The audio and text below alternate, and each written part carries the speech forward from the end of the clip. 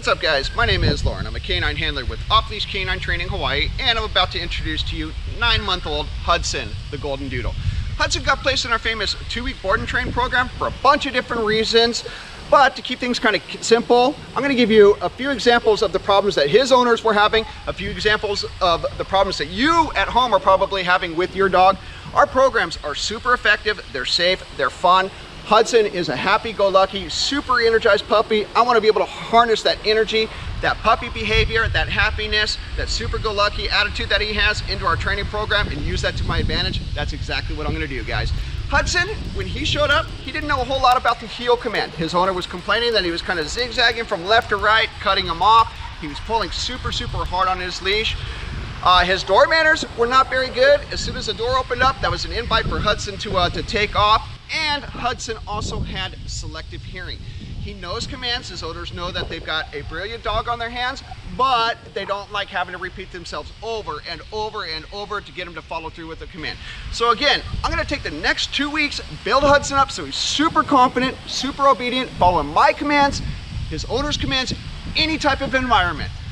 Stoked on the progress that Hudson had made with me over the last two weeks. Can't wait to show you what he can do. Let's get started, guys. Aloha.